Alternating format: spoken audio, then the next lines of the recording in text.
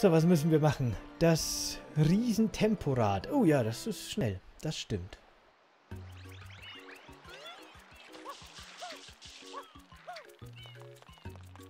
krass, wie kreativ solche Theorien auch immer sind. Ja, wirklich, ich habe da in meinen in mein, äh, Minecraft-Let's Plays ich oft über solche Theorien geredet.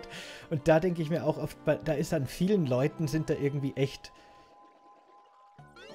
Autoren oder wirklich auch Wissenschaftler verloren gegangen. Weil wenn die ihre Energien halt quasi wirklich für echte Sachen irgendwie nutzbar machen könnten, wäre da, glaube ich, ziemlich viel ja, da steckt wirklich ziemlich viel auch Wissensergründungsenergie drin irgendwie teilweise. Die wollen ja die Welt ergründen. Die sind nur irgendwie ein bisschen in seltsamen Theorien verstrickt und kommen da nicht so raus. Aber teilweise denke ich mir, das ist zwar, das ist zwar so falsch, aber trotzdem so genial, da muss man erstmal drauf kommen. Das sind natürlich immer kollektive Arbeiten. Das ist in den wenigsten Fällen so, oder gibt schon auch, aber es ist selten so, dass einer quasi mit einer Theorie daherkommt, die schon komplett ausgearbeitet ist und dann springen alle mit auf, sondern das ist oft so ein Gemeinschaftsprojekt und dann kommt der auf die Idee und der kann das noch so ergänzen und am Schluss wird da ein Päckchen draus, das sogar wirklich Sinn macht manchmal. Also ich meine, das mit den Mondkratern ist jetzt schon ein sehr extremes Beispiel. Aber ja, ich finde super. Mein Lieblings-Resident Evil-Teil ist auf jeden Fall der vierte. Mit Abstand.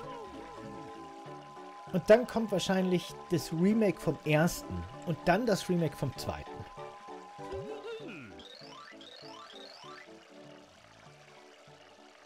Ah, es ist schwierig, ehrlich gesagt. Ich finde die Remakes vom, gerade vom zweiten, das finde ich wirklich gut. Aber ich mag eben auch die klassischen Resident Evil sehr gut gerne. Ich mag auch Code Veronica echt gerne. Und auch den Original zweiten. Die sind alle so Resident Evil 4 und dann alle anderen. Das ist mein, mein Ranking. Bis auf das sechste. Den mag ich gar nicht. Und der fünfte ist schon okay. Der macht wenigstens Koop, finde ich echt noch Spaß.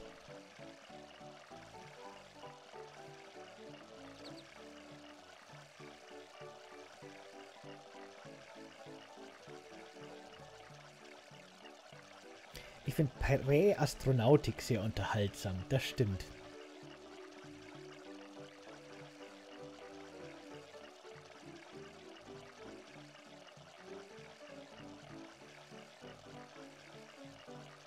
Aha. Okay. Jetzt habe ich nicht gelesen, was der sagt. Ich glaube, das ist wichtig. Niemand kann mit dem Riesenrad fahren. Das ist so lahm. Das klingt nicht so dramatisch. Dann wird es endlich repariert. Ich glaube, wir sollen das Riesenrad reparieren. Kann das sein? Wir sehen, kann es sich immer fort. Tut mir leid, aber es funktioniert nicht. Dann schaue ich mal, was wir tun können.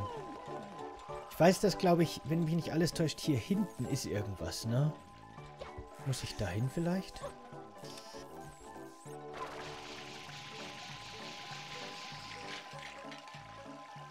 Keine Ahnung, ich kletter hier mal hoch.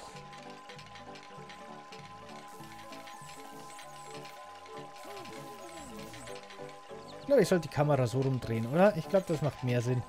Mist, die kriege ich jetzt aber nicht weg, wenn ich auf der Seite bin.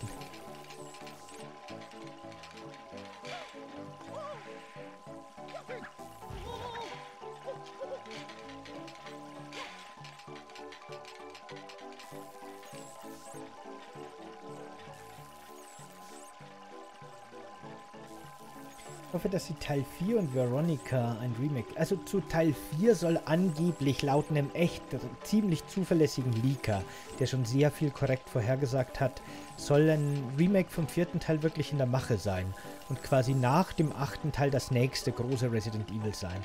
Und im Gegensatz zu dem Remake vom, vom, vom zweiten und vor allem vom dritten soll der Remake vom vierten wirklich ein richtig großes Projekt auch sein.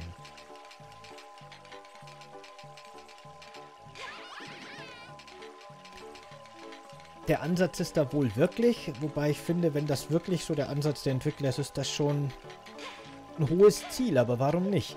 Oh nein, Äh, die, die, die, also das Konzept oder die Idee ist quasi wirklich, dass äh, Resident Evil 4 damals Third-Person-Shooter revolutioniert hat und das soll jetzt quasi das Remake vom vierten wieder machen. Nur halt eben ganz neu.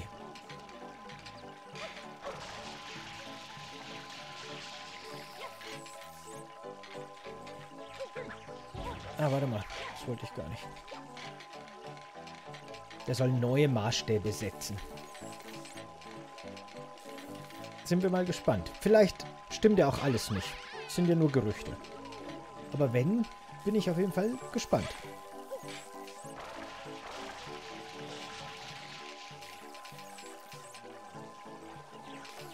Bei Veronica weiß ich es nicht, aber Veronica wäre cool. Aber Veronica ist halt so ein riesiges Spiel da weiß ich einfach nicht, ob die Rechnung aufgeht, weil das hat eine von den klassischen Resident Evil Spielen her gesehen wahrscheinlich eher kleine Fanbase, weil es halt so lange Dreamcast exklusiv war und wie man weiß, hat die ja nicht das größte Publikum gehabt, leider. Und ähm, ist auch schon recht spät erschienen, da wirkte das auf viele Spieler schon veraltet alles und so. Und dann ist es eben auch noch so ein großes, nein, so ein großes klassisches Resident Evil. Und das heißt, es würde teuer werden, wenn man das wirklich ordentlich remaken wollen würde. Und ob sich das dann quasi Fanbase-technisch rechnet für Capcom, das ist die Frage. Aber mal schauen.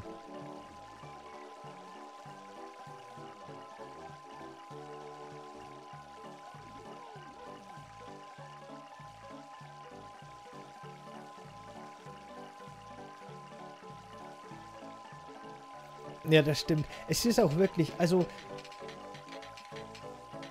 unter so, also ich schaue mir auch gerne so Videos an von so Leuten wie, ähm, weiß ich nicht, wie die alle heißen, Simon Dan oder ähm, Logic oder sowas, die quasi so Verschwörungstheorien äh, so Videos nehmen und die kommentieren, die sich quasi teilweise, je nachdem, das macht jeder individuell, manche machen sich schon auch ein bisschen lustig über die, manche ähm, erklären im Grunde nur, wie es wirklich ist.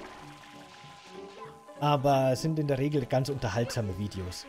Und äh, so unter denen, also die gehen eigentlich davon aus, und das klingt auch logisch, dass so die großen Anführer dieser ganzen seltsamen Bewegungen wie flache Erde und sowas in der Regel wahrscheinlich eigentlich wissen, dass das alles Blödsinn ist, weil die sich eben so sehr damit beschäftigen, dass die das theoretisch wissen müssten.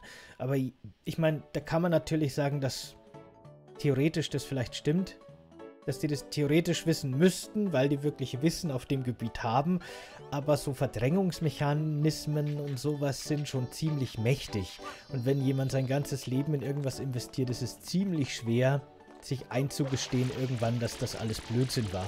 Deswegen würde ich denen jetzt gar nicht unbedingt unterstellen, dass die wissen, dass das alles Bullshit ist. Aber ich glaube, es gibt viele Opportunisten auf jeden Fall, will ich damit sagen, die im Endeffekt halt einfach nur ihren Nutzen draus ziehen dass ja, sie Leute halt quasi mit dem, was sie so erzählen, irgendwie manipulieren können oder einfangen können oder so genau. Oh oh. Und tot, Game Over. Ne, zum Glück nicht.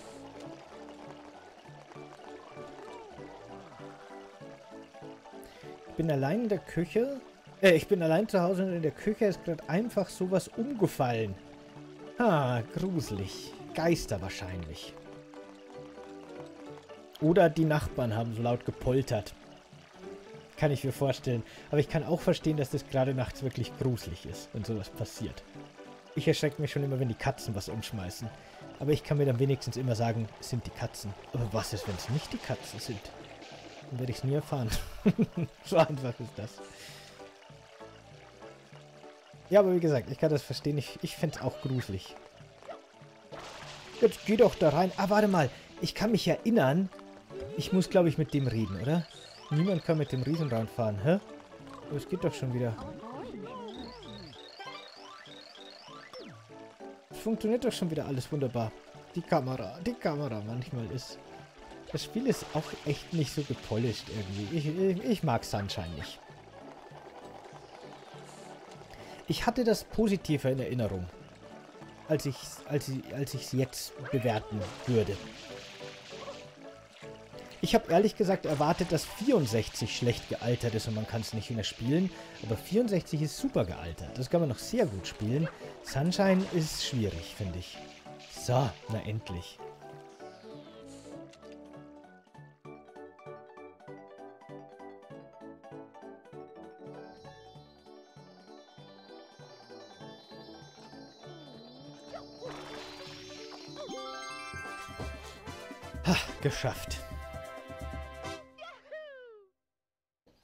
Das. Ich drück dir die Daumen.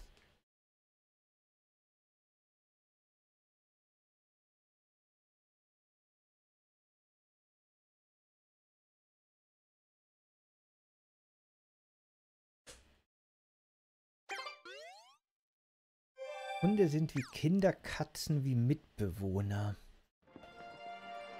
Aber schon auch Kinder.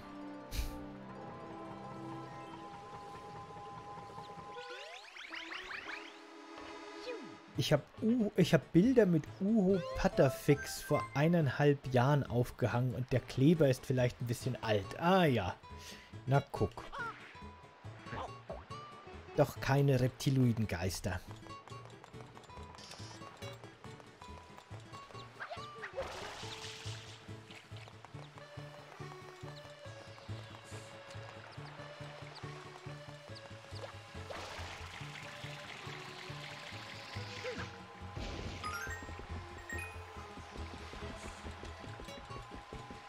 Eigentlich noch mal in den Vergnügungspark gehen können, ne? Warum, warum eigentlich nicht? Was mache ich hier eigentlich? Hey, da kann man auch reingehen. Na, dann gehen wir da mal. Was ist denn hier? Kisten. Kisten. Einfach Kisten.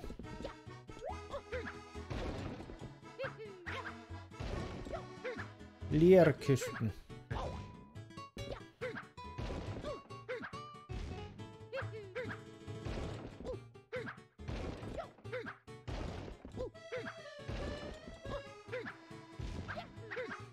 So, dein Kistenproblem ist gelöst. Du brich alle Kisten in 30 Sekunden und du gewinnst. Na gut von mir aus. Mist, ich dachte, ich hätte ich hätte schon genug geschummelt jetzt. Aber war ein gutes Training. 30 Sekunden, das ist aber echt chillig eigentlich. Das war großartig, du bist der Beste. Na dann. Nett.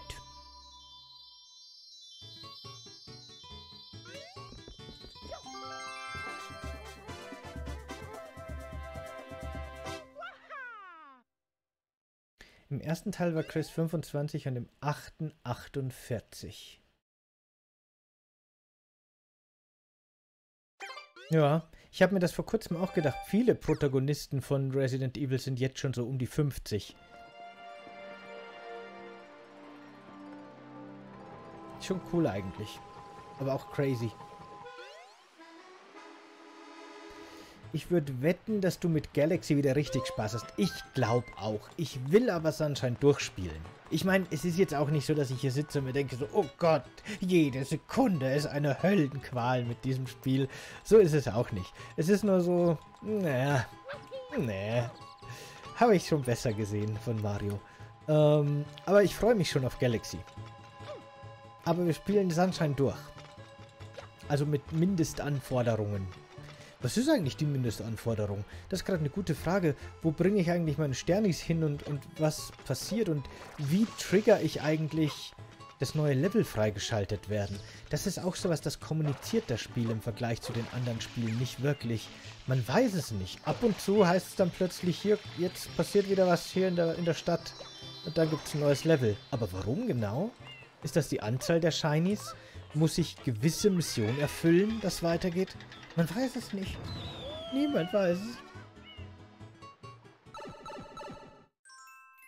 Das Schlimme ist eben durch die ganzen Verschwörungstheorien der Neuzeit das ganze Thema so polarisiert, dass es nur noch Schwarz und Weiß gibt.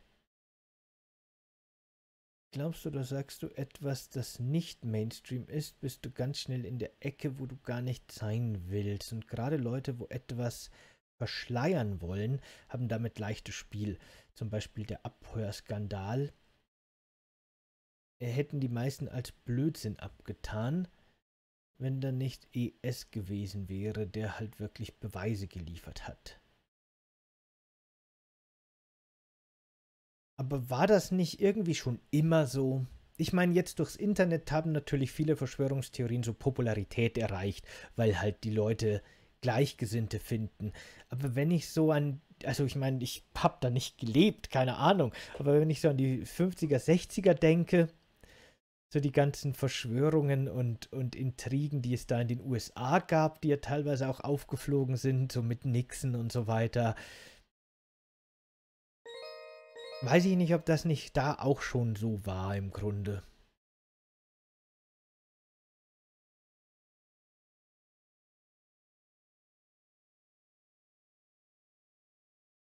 Ja, aber Katzen muss man nicht nur hinterher putzen. Katzen kommen dann auch zum Kuscheln und man spielt mit denen und man streichelt die und man muss mit denen zum Tierarzt und man, man, man kämmt die musste ihn manchmal, wir, mussten einer Katze auch regelmäßig jetzt eine Zeit lang unbedingt die Zähne putzen. Das macht man nicht mit seinem Bewohner, mit seinem Mitbewohner. Ich weiß nicht, vielleicht, hey, whatever. Mache, ist okay, aber ich eher nicht so.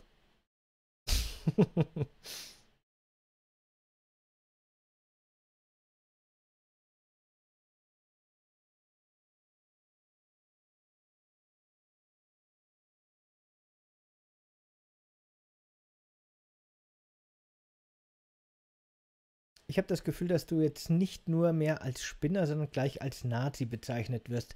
Ja gut, das kann ich aktuell verstehen, dass da das natürlich durchgemischt wird, weil ja eben die, die äh, viele, viele rechtsradikale Strömungen so ein bisschen versucht haben, dieses Verschwörungstheorie-Klientel zu kapern und für ihre Sache zu gewinnen.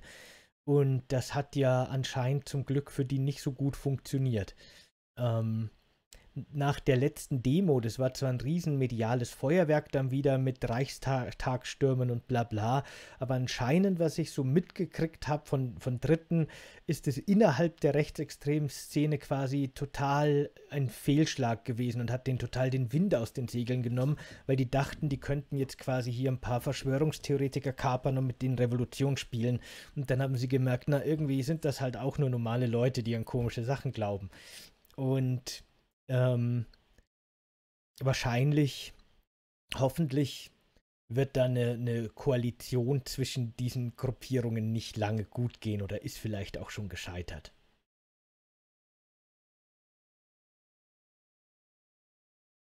Kommt deine Freundin nicht zum Kuscheln? Also wenn die Katzen schon da sind, dann, dann geht das nicht. wenn die Katzen nachts immer zwischen uns liegen, kann man nichts machen. Das Yoshi-Karussell. Na dann.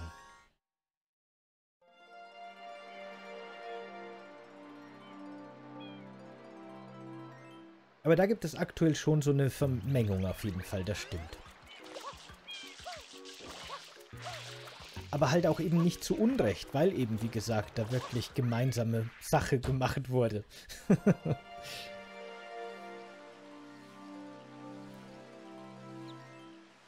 Aber ich weiß schon, dass man jetzt quasi, wenn man irgendwie unpopuläre Meinungen hat, auch im kleinen Rahmen nicht nur eben in die Verschwörungstheorie-Ecke, sondern dann auch gleichzeitig gleich in die Nazi-Ecke gesteckt wird, ne? So. Ja. Hey, danke schön für die Bits.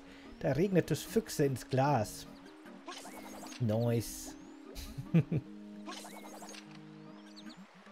Korgo. Ach, Korgis sind das. Das ist ja fast noch besser.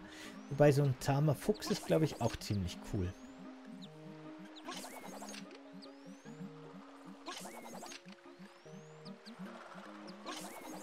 Ja. So, was machen wir jetzt hier?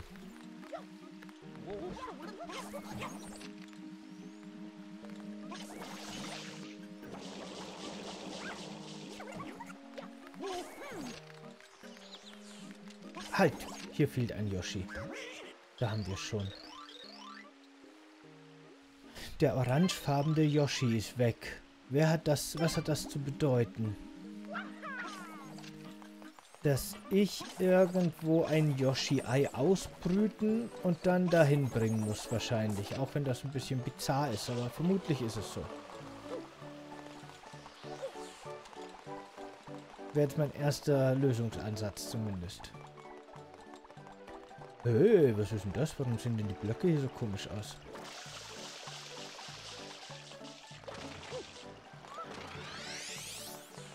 Okay, extra Leben. Ja, der nächste Freitagsstream ist schon, ich wollte schon wieder Donnerstagsstream sagen, ist schon, äh, ist schon erreicht. Oben die zweite gestrichelte Linie ist quasi schon überschritten. Also diesen Freitag wird es schon den Random Stream dann geben, wo irgendwas komplett Neues, Zufälliges gespielt wird, das ich noch nie irgendwo auf dem Kanal gespielt habe oder in einem Stream. Einmal ist das schon vorgekommen, dass ich komplett vergessen habe, dass ich zu einem Spiel schon mal Random Drop Let's Plays gemacht habe. Und dann ist es doch im Random Stream nochmal gelandet. Bei Hybrid Heaven war das. Aber normalerweise sollte es was sein, das noch nie irgendwo in irgendeiner Form zu sehen war. Das ist immer interessant. Ich weiß noch gar nicht, was ich diesmal nehmen soll. Es gibt viel Kandidat. Es gibt eigentlich echt viele Spiele, wo ich mir denke, ah, die, die sind cool oder, oder relativ unbekannt auch oder vielleicht auch so Klassiker. Oh, bin ich gerade durch den Waggon da durchgefallen. Den will ich teilen. Aber aktuell weiß ich noch gar nicht was, wo, wie. Aber irgendwas, irgendwo, irgendwie. Auf jeden Fall.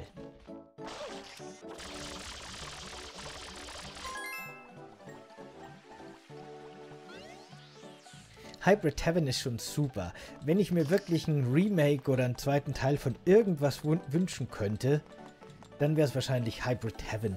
Weil ich finde dieses diese Mischung aus so Adventure und rundenbasierendem Wrestling-Kampfsystem ist so eine weirde und geile Kombination und auch so einzigartig. Das finde ich einfach nur total super. Vor allem, dass man das mit irgendwelchen Mensch-Tier-Hybrid-Aliens wirklich wrestelt und die irgendwie nimmt und bodyslammt und das ist so cool. So cool abgedreht. Das hat mir total gefallen. Adventure Wrestling mit Monstern, genau. Es ist einfach super. Und das dann auch, aber äh, eben, dass dann auch so die einzelnen Körperteile alle einzeln hochleveln und ihre eigenen Stats haben und sowas. Das fand ich auch, das fand ich durch und durch ein super interessantes Spiel. Und mir ist witzigerweise erst jetzt, als ich das jetzt eben vor kurzem wieder gespielt habe, aufgefallen, dass die deutsche Synchro so katastrophal ist, dass es echt witzig ist. Äh, die deutsche Übersetzung ist voll fehlerhaft und voll kaputt. War nicht super lustig. Vielleicht sind es nur die kleinen Aliens, die so kaputt sind. Vielleicht auch absichtlich. Ich weiß es nicht. Aber ich glaube nicht. Äh, voll cool. Ich glaube, das wurde direkt von Japanern aus dem Japanischen ins Deutsche übersetzt. So liest es sich zumindest. Super cool.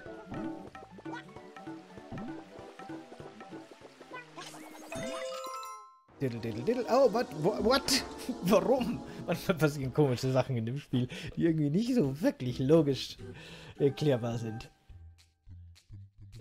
Ich glaube, die Level wären für mich cooler, wenn ich unendlich viel Leben und einfach so eine schnell Neustart-Taste hätte.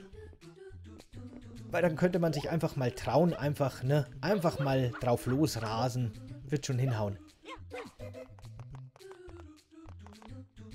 Aber so muss man immer, ne, da fällt er in den Abgrund und schreit und dann steht da, ah, Arrivederci.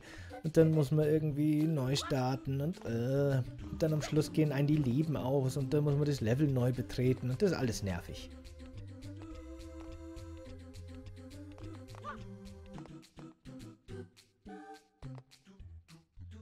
Das müsste wie bei Super Meat Boy, so zack, zack müsste das gehen dann wäre das nur halb so frustrierend. Eigentlich mag ich die Passagen echt gerne, aber einmal kurz ein bisschen sterben ist halt gleich super frustrierend. Oh Gott, ey. Puh. Baldur's Gate 3 spielen. Ah, das ist immer schwierig. Mit meinem aktuellen Setup ist es wirklich schwierig, vom PC zu streamen. Aber, was ich mir gedacht habe, ich habe eine Xbox Series S vorbestellt. Einfach nur mit dem Games Pass. Ich werde mir auch gar kein Spiel dafür kaufen. Einfach nur, dass man quasi so eine mobile Videospiel Netflix Dings Dingens im Wohnzimmer stehen hat, habe ich mir gedacht. Und da könnten wir dann eventuell in einem Stream ähm, äh, na, warte mal, ich mache die Übung. Ich mache die Gehirnhälftenverbindübung. Äh, Wasteland 3 spielen. Es hat funktioniert. Vielleicht Zufall. Muss ich mal öfter überprüfen. Äh, Wastelander 3 könnten wir da spielen. Oder Wasteland 3. Und auf das hätte ich Bock, weil das soll ja echt ziemlich cool sein. Okay, Mario. Weißt, we weißt du, was super wäre, Mario? Ein Checkpoint hier.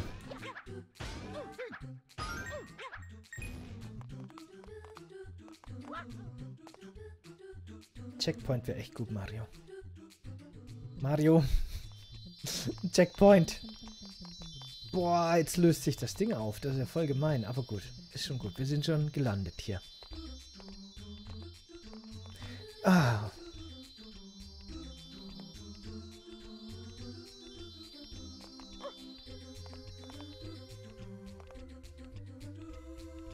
Immer schön, wenn die Kamera so gut ist und einem überhaupt nicht irgendwie den Weg hier blockiert, die Sicht blockiert.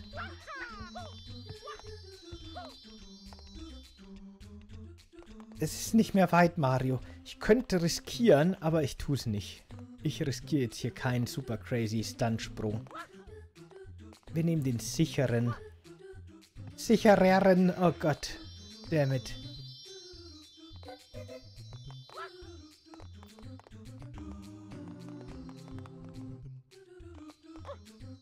Ganz ruhig, Mario.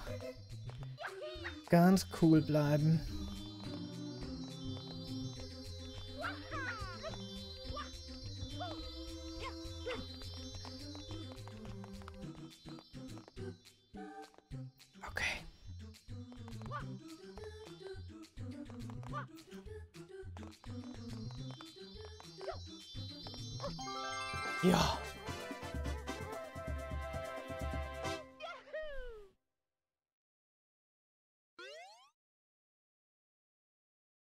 Man sollte sich tatsächlich dadurch auch an mehr erinnern können. Ja, ich habe schon öfter überlegt, dass ich mir wirklich so einen Stressball oder sowas hier für den Schreibtisch kaufe, weil sowas könnte ich echt gut brauchen. Aber vielleicht ist die Übung sogar noch besser. Dieses Fingerspitzen berühren. Ich werde das mal häufiger auf jeden Fall austesten. Weil irgendwas, das mir so ein bisschen beim Konzentrieren hilft, kann ich sehr oft brauchen.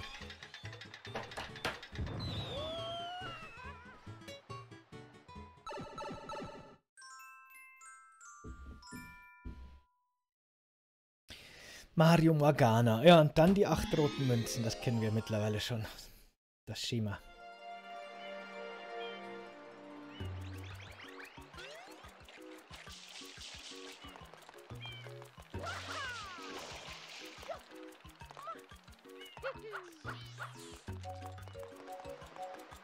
Wobei ich bei Hybrid Heaven eigentlich immer meine Kicks trainiert habe, hauptsächlich. Die Wrestling Moves waren schon gut, aber einfach das rechte Bein war einfach massiv offensiv geskillt. Und dann habe ich einfach immer alle mit rechts aus dem Bild gekickt. Das hat schon auch am besten funktioniert, sich einfach auf irgendwas zu spezialisieren und dann nur noch das zu benutzen. Wobei es natürlich unterschiedliche Gegnertypen gibt. Man kann natürlich nicht jeden so gut mit Bein kicken wie... Ne? Manche brauchen da schon eigene Strategien. Aber trotzdem, das hat schon gut funktioniert. Volle Offensive auf das rechte Bein und dann geht das. Das Spiel war so gut.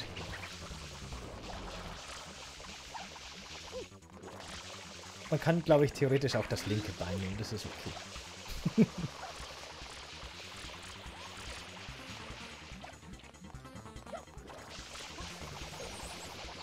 Na, das war im Vergleich zu den anderen Leveln echt angenehm easy jetzt gerade. Die Verfolgungsjagd. Meine Güte, wann kriegt denn der eine Hitbox? So.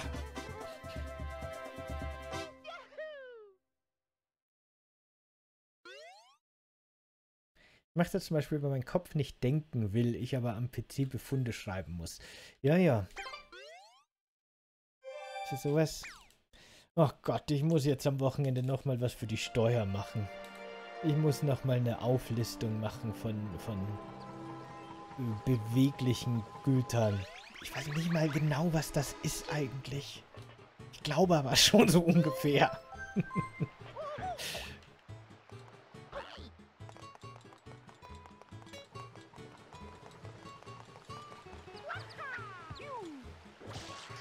Aber das kriege ich auch noch hin.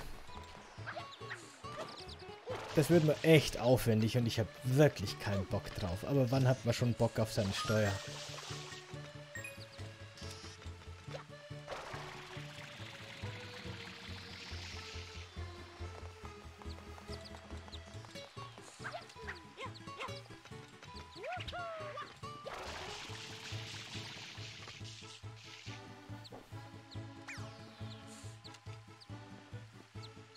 Ja, eben. Genau. ich habe schon mal überlegt, ob ich, wenn ich öfter oder wenn ich zumindest einmal im Jahr Videos mit den Katzen mache, ob ich dann nicht vielleicht die, die Katzen von der Steuer absetzen kann. So Katzenfutter und Tierarztbesuche, weil es sind ja quasi Mitarbeiter, so quasi. Also so Assets, die ich benutze für die Videos. Hab mich nie informiert, ob das wirklich gehen würde. Aber die Idee hatte ich schon mal. Ich habe schon mal dran gedacht zumindest. Wer weiß, wahrscheinlich geht's wirklich. Keine Ahnung. Showkatzen.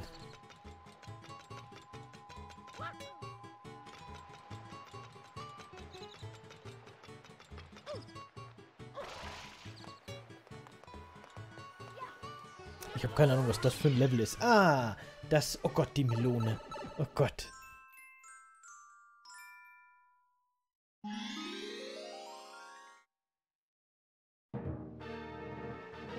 Ah, wiggle, wiggle, wiggle.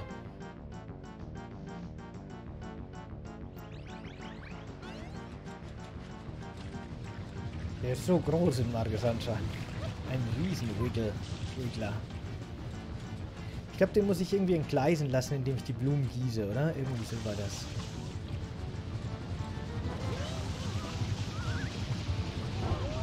Ich glaube, das war knapp. Aber ja, genauso, theoretisch.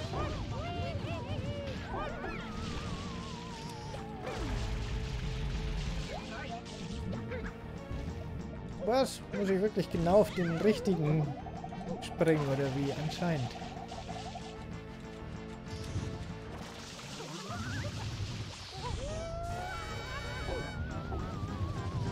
Nein, eskalier doch, entgleis doch. Du weißt schon, was ich meine. Wiggle, wiggle.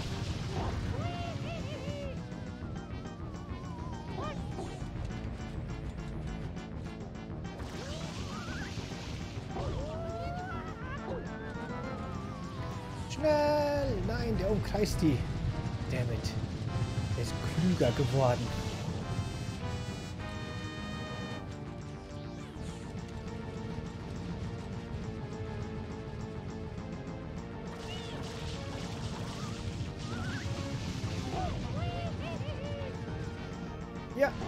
Mario. Pack dein Jetpack aus.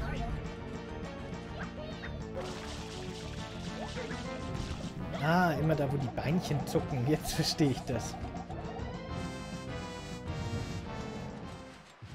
Oh oh, ich glaube, jetzt habe ich ihn wütend gemacht. Noch wütender, aber er ist noch nicht super wütend.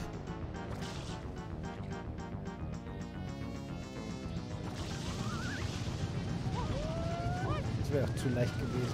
Oh, das wäre gut. Das hat gut funktioniert. Okay. Das nächste Mal weiß ich es. Wenn der auf, auf Schienen läuft quasi.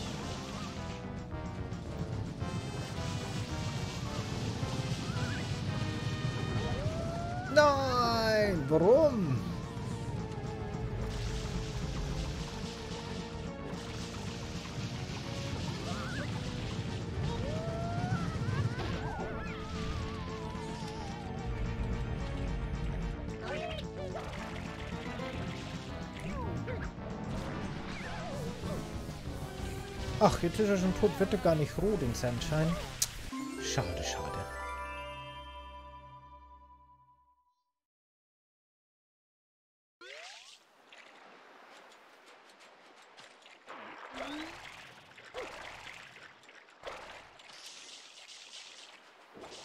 Bewegliche Güter, glaube ich. Soviel ich weiß, ist das so ziemlich alles.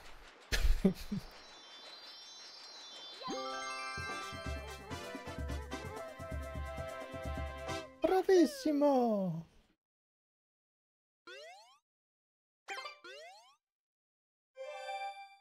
빌름